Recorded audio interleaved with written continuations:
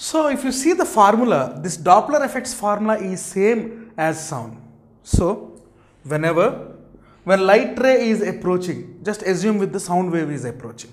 When light wave is approaching towards the observer, so the frequency of approach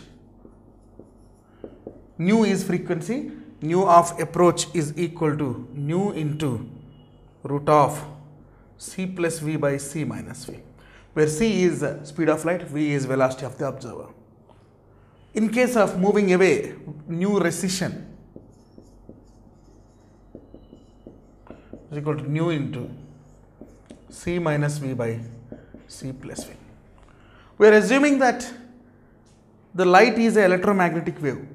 So, the best example is v is much less than c. Means velocity of a given medium is much less than the velocity of light or speed of light. So, in these cases, this formula is going to change. So, how they will change, we should check now. So, in these cases, nu approach is equal to nu into 1 plus v by c. And I am dividing with c by lambda a. c is equal to nu lambda. C by lambda is nu. So, c by lambda a is equal to c by lambda into 1 plus lambda by c whole power minus 1. So, c by lambda recession is equal to c by lambda into 1 minus v by c. Here it is 1 plus v by c. This minus 1 is not present here right now. So, how the minus will will come, we will see. So, 1 by lambda is equal to 1 by lambda into 1 plus v by c. 1 by lambda r is equal to 1 by lambda is equal to into 1 minus v by c. What about the frequency? So, frequency nu is equal to c by lambda r. Therefore, nu r is equal to nu into 1 minus v by c. And this one nu a is equal to nu into 1 plus v by c. So, these are all the formula to find the frequency of the approach and frequency of the recession in case of Doppler shift. So sound వేవ్స్లో ఏ ఫార్ములాలు అయితే Doppler ఎఫెక్ట్లో valid అయ్యాయో అవే formulas ఇక్కడ light waves కూడా approach అవుతాయి so ఒక లైట్ వేవ్ అబ్జర్వర్ని అప్రోచ్ అవుతున్నప్పుడు దాని యొక్క ఫ్రీక్వెన్సీకి formula frequency into under root C plus V by C minus V C అనేది స్పీడ్ ఆఫ్ లైట్ వి అనేది స్పీడ్ ఆఫ్ అబ్జర్వర్ న్యూ రెసిషన్కి వచ్చేసరికి nu into C minus V by C plus V so V much less than c కాబట్టి ఎందుకంటే C అనేది electromagnetic wave ఈ కేసులో nu approach అవుతుంది nu into one plus v by c అవుతుంది. కానీ ఈ ఎలక్ట్రోమాగ్నెటిక్ వేవ్స్లో రెండు కేసెస్ ఉన్నాయి. అప్రోచింగ్ కేస్ రెసిషన్ కేస్ వీటి యొక్క ఫ్రీక్వెన్సీస్ ఫైండ్ అవుట్ చేసేటప్పుడు c by lambda a is equal c by lambda into one plus v by c ఈ C by ల్యాండాని new అంటారు they for new A is equal new into one plus we by C అదే C by ల్యాండా are is equal C by lambda into one minus we by C దాని new or is equal to nu into one minus we by C కింద చెప్పవచ్చు ఈ విధంగా ఈ Doppler ఎఫెక్ట్కి సంబంధించి కొన్ని రూల్స్ ఉన్నాం next we will discuss about blue shift and red shift in this if you see this equation lambda a is equal to lambda minus v by c lambda. Lambda a minus lambda is equal to minus v by c lambda. What is lambda a minus lambda? Delta lambda a is equal to minus v by c lambda.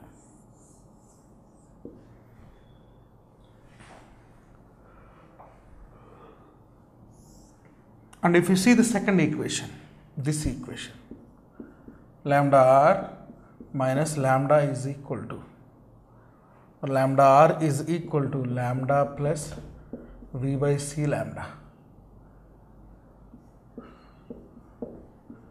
Lambda r minus lambda is equal to v by c lambda.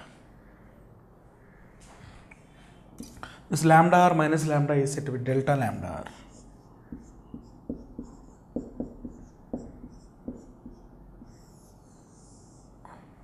This is the formula for the change in the wavelength for approach change in the wavelength for recession. Next, blue shift. When source is moving towards the observer, or the light rays which are emanated from the source are moved towards the observer, the distance between the source and observer is shortened. In this case, the frequency of the light is visible as blue. Actually, for long distances, very difficult to observe the short wavelengths. According to the eye sensitivity, difficult to observe the violet and indigo colors. The first color which is visible to the human eye in frequency is blue. That's why in, in case of scattering of light, if you see the example, the sunrise time and sunset time, the middle time between the sunrise to sunset, the sky will appear as blue. Because it is the natural color which is clearly visible to the human beings, except violet and indigo. So in case of blue shift, we will apply the same formula. Delta lambda b is equal to minus v by c lambda. So here lambda dash is less than lambda. Then what about the frequency? Nu b is equal to minus v by c into nu. Here also nu dash is less than nu.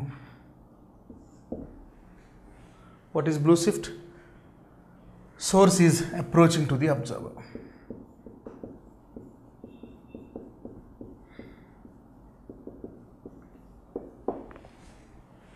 Next one is redshift.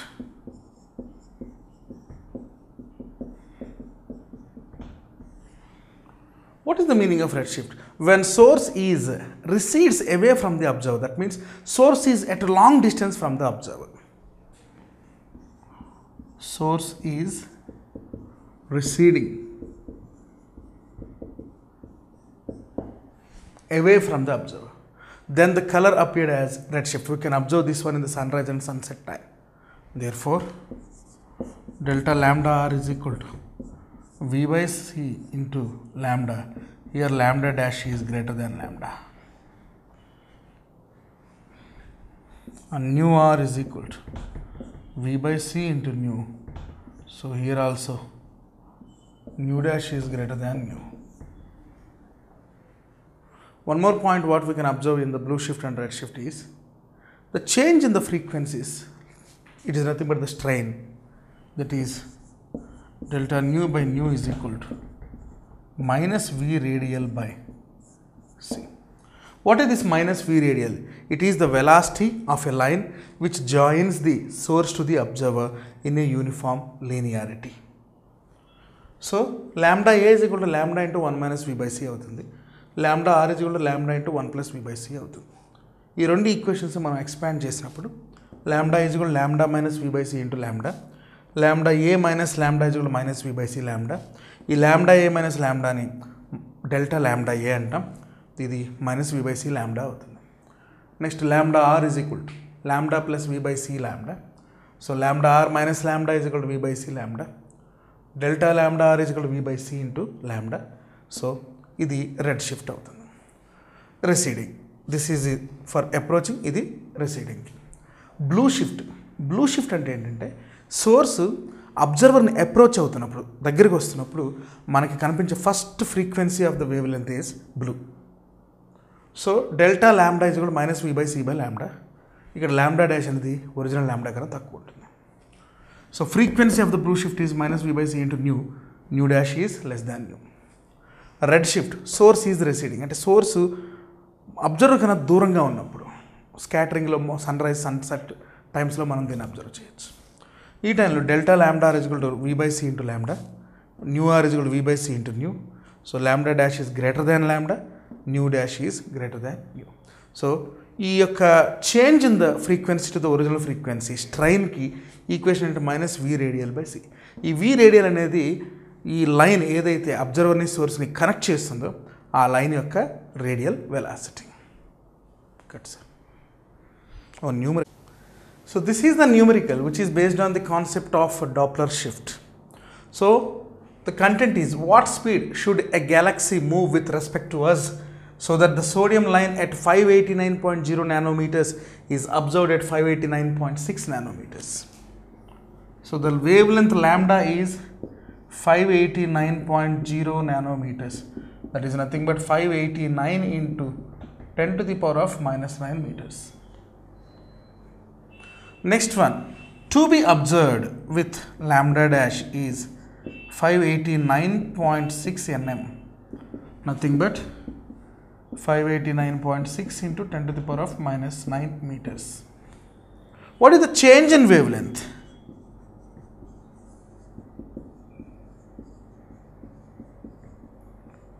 The change in wavelength is equal to delta lambda is equal to lambda dash minus lambda that is nothing but 589.6 minus 589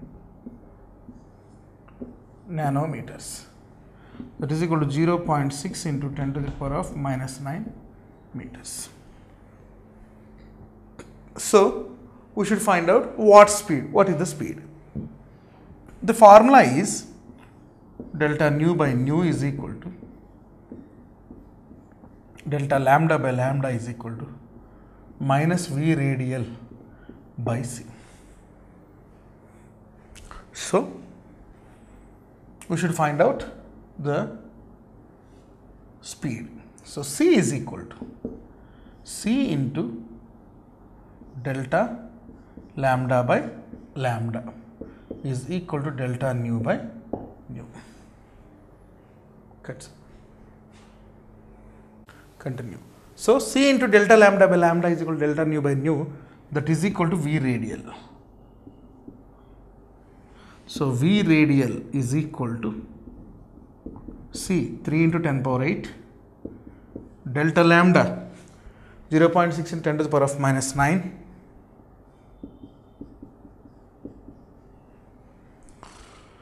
lambda 589 into 10 to the power of minus 9.